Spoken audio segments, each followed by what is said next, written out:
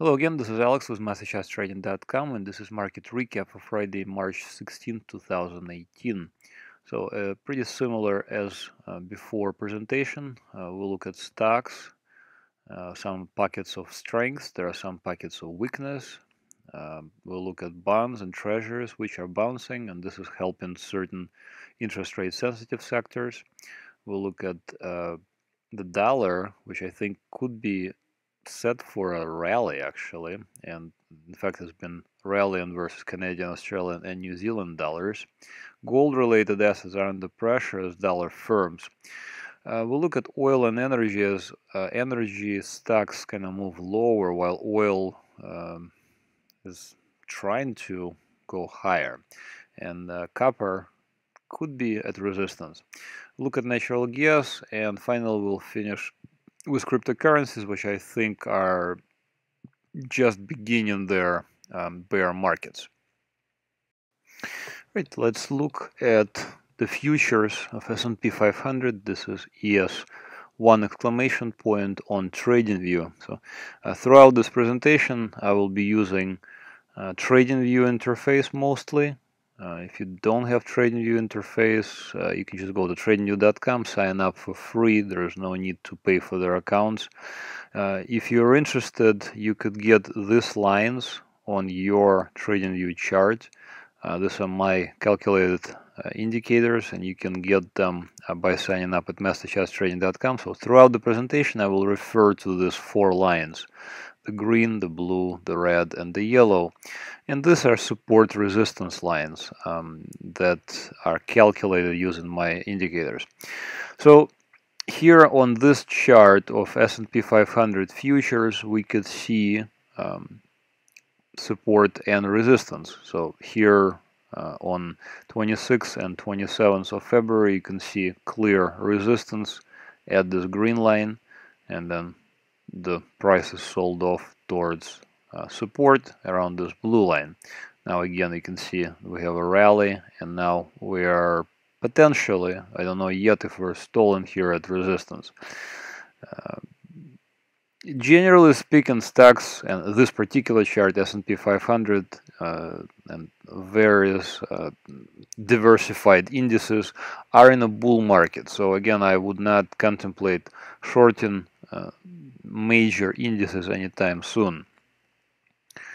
Here's QQQ, and I keep saying the same thing uh, if you listen to my previous videos uh, that basically it is very difficult to find the top and in a bullish security and this is a bullish security. How do I know it's a bullish security? Because it's been hitting fresh highs and additionally since I'm using uh, my indicators we have closed above um, this blue line and we have not yet closed below this yellow line. For, for stocks, I give the benefit of a doubt to the bulls uh, because generally speaking, stocks are, uh, you know, good, um, you know, overall they tend to go up uh, over time.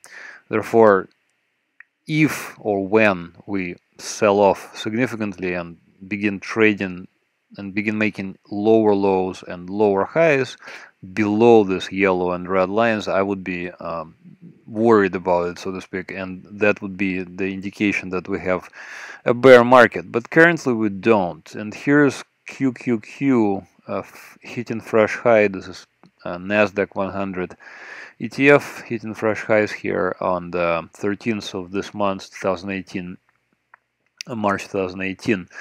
So Overall, this is a clearly a bullish chart.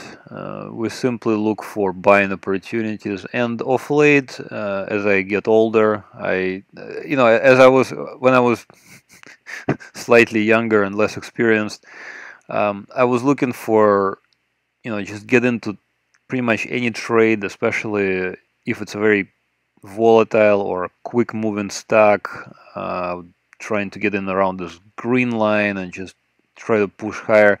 Of late, I kind of been looking for deeper pullbacks towards the blue line, and notice here, uh, this is a very good support here um, that manifested itself in the beginning of February of this year. Notice that uh, QQQ bottomed out again uh, around this blue line and then rallied. So uh, looking like a clearly a bullish chart. Will this change? When will this change? Especially when will this change? Nobody knows. The trends can continue very um, long time and nobody really knows what's going to happen with this trend. Uh, what we are trying to do um, in a trend tra trend trading, and I am basically embodying trend trading at masterchartstrading.com, is that we are looking to jump on this trend and uh, you know continue riding it until it no longer is a trend.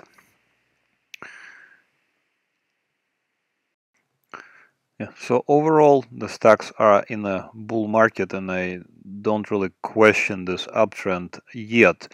When we get to junk ones I will try to make a point that there is something to be concerned about. But for now there are pockets of strength in the technology, industrial and financial sector.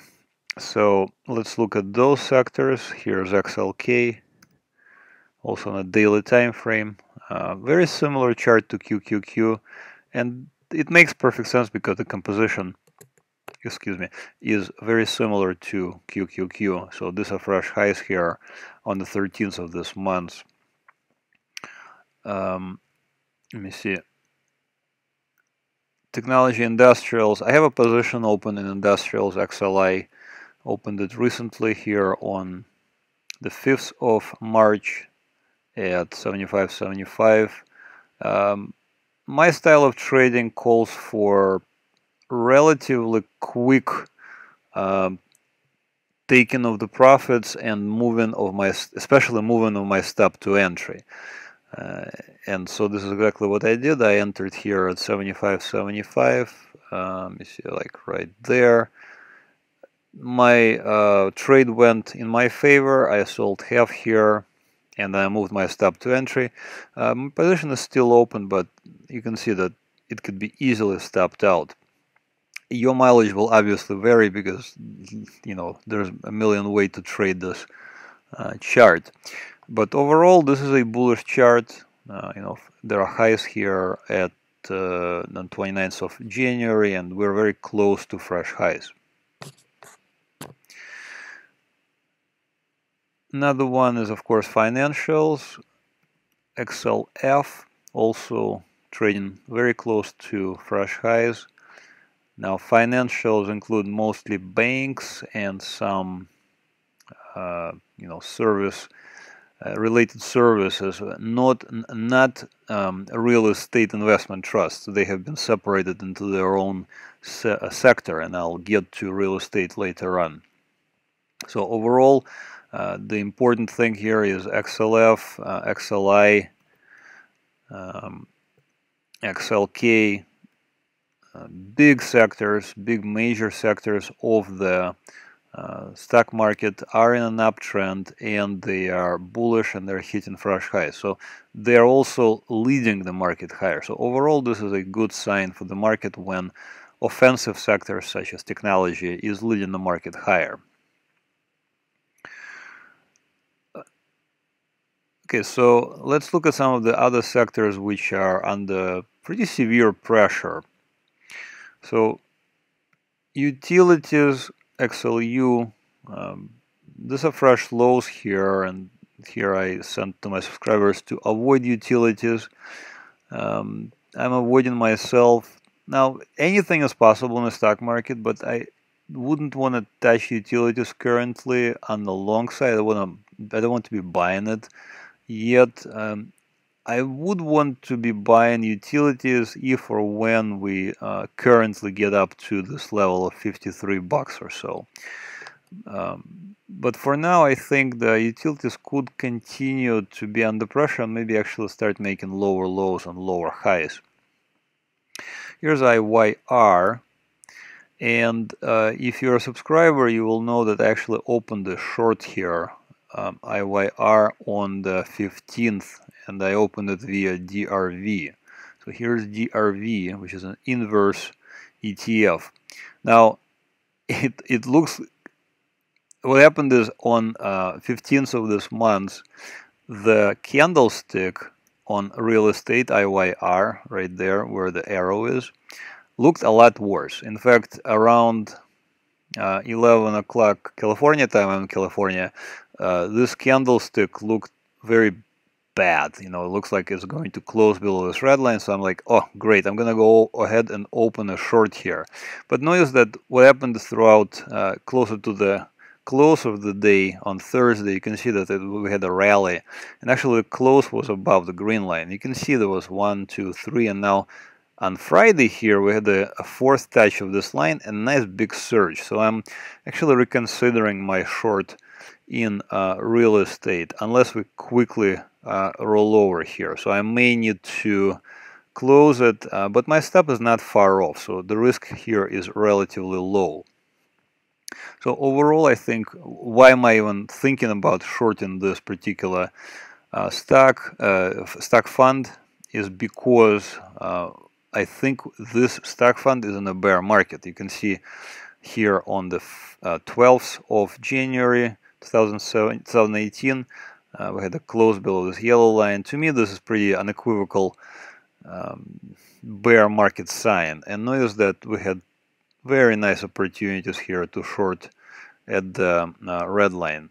So now we have a, a, similar type of bounce and I wonder if we're going to roll over and continue lower from here. The opposite is always uh, possible and that's why we always have stops and that's why we always calculate the position size and uh, if you're interested uh, on how to calculate the position size I can explain it. Uh, send me a, a, message. Preferred stocks also PGX here big bounce but maybe maybe we'll continue higher. I mean if we close above this blue line I, will reconsider my uh, bearish posture on PGX PFF also a preferred stock portfolio you know, it's possible. Maybe we'll continue higher. Um, currently, I'm avoiding uh, preferred stocks. And another sector which is really surprisingly weak is uh, XLP, consumer staples.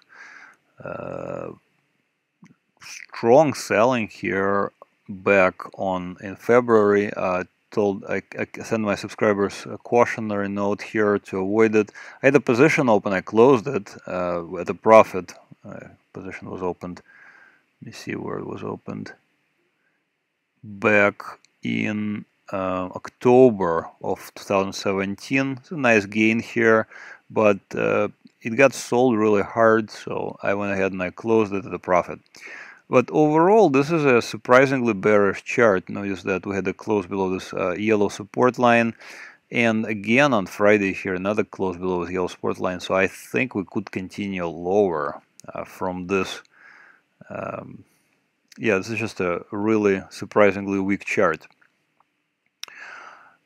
And uh, let me see what else I want to cover here.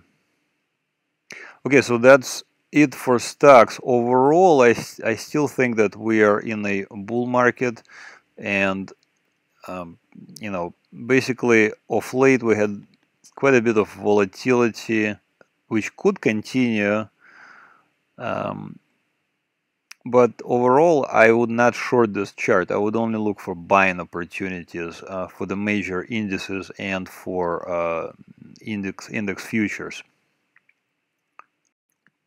Okay, let's continue to bonds. So first let's look at junk bonds. Um, the low-grade bonds are correlate highly to the general stock market. In other words, if stocks go up, um, junk bonds usually go up with them. Vice versa, if junk bonds go down, stocks also, generally speaking, go down with them. So this is my major concern on this chart. This is JNK in a daily time frame. You see we can we closed below the support lines um, on the 2nd of February of this year, 2018. Continued lower, big big move lower. Uh, now we had a oversold bounce. Uh, I said it was a dead cat bounce. Yes, it definitely was a dead cat bounce because this was already a this would have been a profitable trade should you, you know, if you desired to short it, short it here. Um, currently, I wonder if we're already done with this bounce.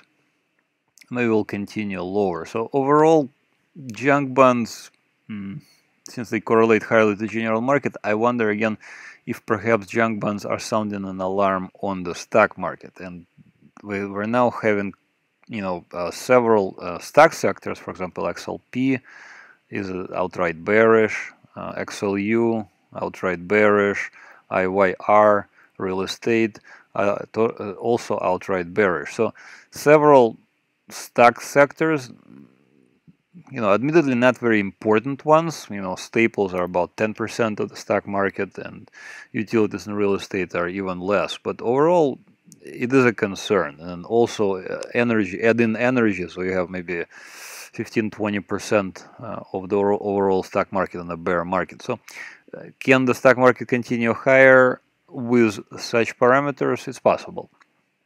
And perhaps the um, junk bonds and real estate and utilities will eventually turn around too. It, it, we cannot exclude the possibility.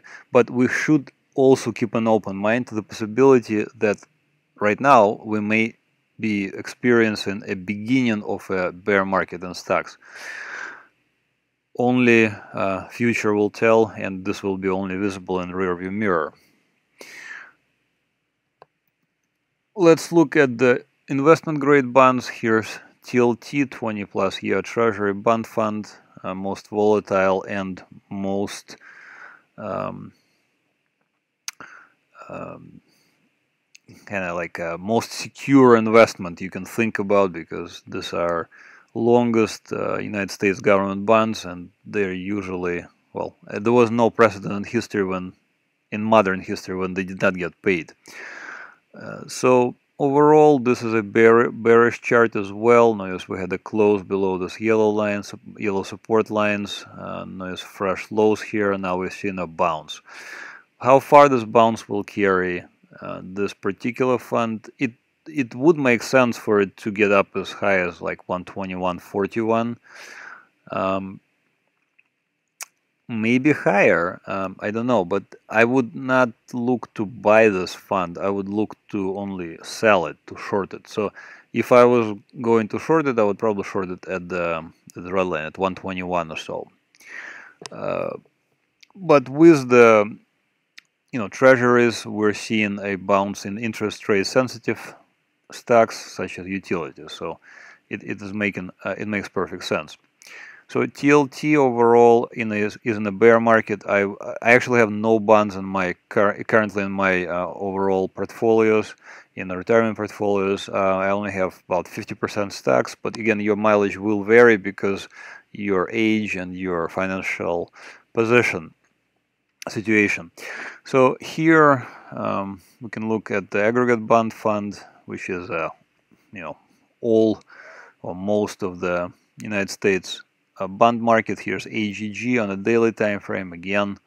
A break below this uh, yellow support line. I sent an alert to my subscribers to avoid it.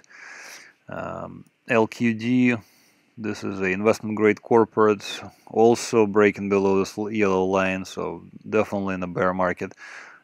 A bounce is possible, but I think this bounce should be shorted actually. So uh, overall, uh, I would say that bonds are still in a bear market, and this could influence uh, the stock market, especially uh, the junk bonds, uh, the low, uh, the high high yield bond funds, uh, if they roll over further, this could really put pressure on the stocks.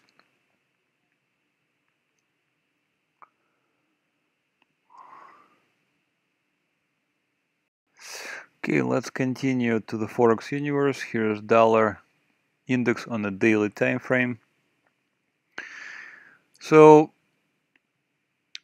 here we see that bear market for the dollar is still alive and well.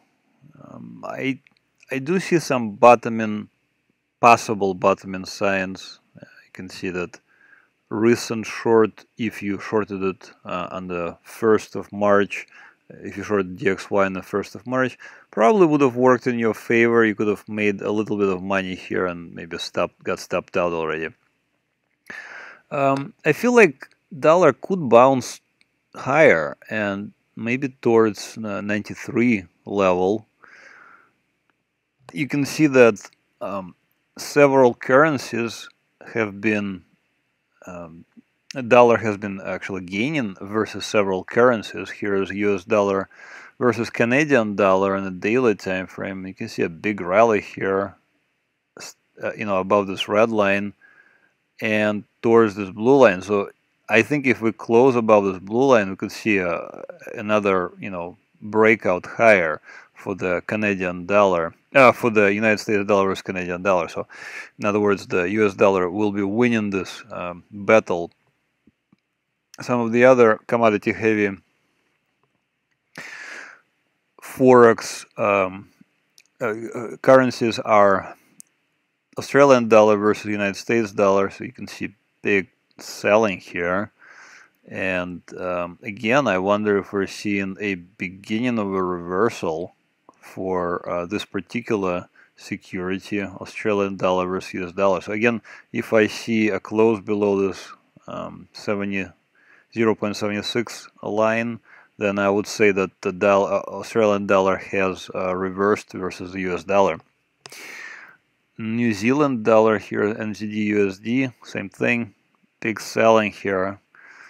And again, I wonder if we're going to see a reversal. Versus the major ones, Euro versus US dollar. Um, here we can still see that Euro is uh, in an uptrend, but I feel like it's kind of losing steam, and I think maybe we'll see you know a, a move lower for this pair uh, but overall I would still buy euro especially if we get to like uh, this blue line 1.181 or so and like attempt to bottom here maybe uh, we'll look for a buying opportunity. Same goes for British pound GB, uh, GBP USD you know a little bit weaker than euro. So again let's look for possibly a buying opportunity around 1.36 so again overall uh, DXY mm, maybe is in a, is ready for a significant rally versus um, other currencies. Right let's continue to gold. Uh, gold on a daily time frame this is paper gold XAU USD as traded on Forex. Still in an uptrend. I once we get, you know, I'll, I'll show GDX or gold miners. They concern me greatly because they diverged from gold significantly, and now with the possibility of a rally, significant rally in the dollar um, that is possibly brewing right now. Um, I think gold um, could come under severe pressure, honestly. Here's gold futures on a daily time frame. Still a bullish chart, but again, I I worry about the gold miners, and here are the gold miners. So here's GDX on a daily time frame. Notice that the chart is completely different. Whereas gold was trading up here above this blue line, GDX, the gold miners, actually trading below this yellow line. So this is outright bearish to me, and I'm simply avoiding GDX currently. Um, maybe it will rally, but I, I, I don't like this chart, you know, so I'm I'm avoiding it for now. So here's GDXJ, similar pattern, also trading below this yellow and red lines. And notice here, uh, a few weeks ago, I sent or I published this um, chart and on the 6th of March, you can see there was a touch of this red line. And actually, you could have made money here already. Uh, you know, a short trade, but it's it could have worked. You can do um, inverse of uh, gold miners, uh, junior gold miners, so JDust, JDST. So overall, I'm not really loving this gold patterns um, lately, so I'm I'm kind of avoiding gold for now, and um, we'll see where this goes basically. All right, next on the agenda is oil and energy, and again, as I just showed, so here's for example GDX. You can see that the gold miners are trading lower, and here are, is the gold itself. Uh, here's GLD. Notice that it's trading above this blue line. So who is right? And the same thing kind of goes for current situation with oil. So here's oil on a daily time frame. And notice that oil is trading you know above this green line and kind of approaching this green line, definitely above the blue line, so definitely in a bull market. And um, versus the energy ETF, which is XLE, and you can see the pattern is significantly different. You can see that it is it's sold off really hard. It's trading below this red line. Touch the touch the support line around um, 64.50 here, and kind of really wanting to go lower. I think from here. So I am concerned about this divergence because um, I wonder who is correct. Maybe the energy stocks are going to lead oil lower. Vice versa, maybe oil will continue higher and energy stocks will turn around and also continue higher. So for example, here's ExxonMobil, XOM, again outright bearish. Um, as early as the 7th of February, I was already uh, warning my subscribers to avoid it.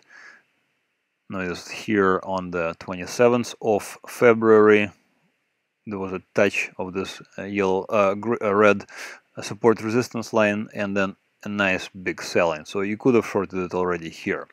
So overall, I am again concerned about energy uh, diverging from oil so we'll see again who is correct, which one is correct. Natural gas, uh, briefly, not much has changed really, but if you're an aggressive trader, then potentially already shorted at the yellow line. Uh, if you're a more conservative trader, I would trade. I would short it around two dollars ninety five cents, um, or simply avoid it. I mean, if you don't really uh, you know, this is a very, very wild security. You can see big swings, so you could easily lose money uh, on this particular one because people use, you know, UGAZ and DGAZ, and it's just uh, this thing is wild. Um, copper futures. You can actually trade it also as JJC copper futures uh, concerned here is that we're stolen at stalling here at the highs. Uh, here on this chart you can see a green support resistance line on the 6th of March of this year. You can see a touch of this green support resistance line. Another touch here on the 14th of March. So perhaps we're seeing resistance here um, perhaps not. Uh, overall, I think this is still a bullish chart, and I not I wouldn't short it just yet. But if we start selling off, then um, we'll need to watch for a break below this uh, uh, red resistance support resistance line. And if we do the if it does break down, then we could see a more significant move lower. Finally, let's look at uh, cryptocurrencies. So here's BTC USD live chart because it's being traded as we speak. It's 24 hours a day. So overall, I still think that uh, Bitcoin is in a bear market, and I still I, I, I think it started. Uh, the bear market started here on February 4th of this year, 2018. So if you shorted it here on this breakdown you would have already made some money depending on where your stop is and I personally like to use wider stops so I would have put my stop above this blue line. So you need to calculate your position and this is pretty wild because the, you know it's a very expensive um, security you need to have a relatively large account to trade this. But overall I still think that this is a bearish chart and here on the 14th of um, March 2018 I, I, see another break below this uh, red support resistance line and so far I still don't see any um, you know I don't see any uh, rally so I see resistance here on the 16th of uh, March. Let me zoom in for you there. And notice that we basically touched this line right there at 8600 bucks and this is Bitfinex. So maybe we'll take another leg down. And here's Litecoin, LTC USD, another uh, bearish security. Uh, to me, a breakdown occurred on the 1st of February 2018. Beautiful opportunity to short here on the 20th at this blue line. And by the way, these lines are available at masterchartstrading.com. I think we could continue easily down towards possibly the yellow line, which is currently at 89 bucks, uh, which would make uh, for a very nice drop of, uh, you know, 43%. Ethereum ETHUSD. Think of cryptocurrencies not in not as an investment vehicle, but as a trading, as another trading vehicle. Um, and here, Ethereum ETH, USD, you can see um, another support break, or rather a support break below this red line. We could again see a nice big move lower for Ethereum. And finally, here's XRP USD. Same thing. Um, well, let me find a different XRP USD from Bitstamp. It has a little bit more data. So uh, the breakdown on this particular instrument occurred on the 16th of March 2018, right there, when it was a close below the red line. You can see that you can basically short anywhere and then a nice move down 51% move if you shorted, shorted it back there. Currently we're approaching again this yellow line, so potentially we could, could again shorted maybe on breakdown below the yellow line too. Um, so overall, um, pretty much all um, pretty much all cryptocurrencies I think are currently in the bear market. Okay, um, that's it for this week's recap. Uh, please head over to masterchartstrading.com, click on alerts and indicators here, and then sign up for free trial for 30 days. Uh, you can get, I'm going to tell you how to get my indicators. I'm going to send you alerts, obviously, about uh, various uh, markets that I trade. And I usually trade equities, gold, um, bonds, and to lesser extent commodities as of late. That's it for this week's recap. Thanks for watching and have another great trading week. Bye bye.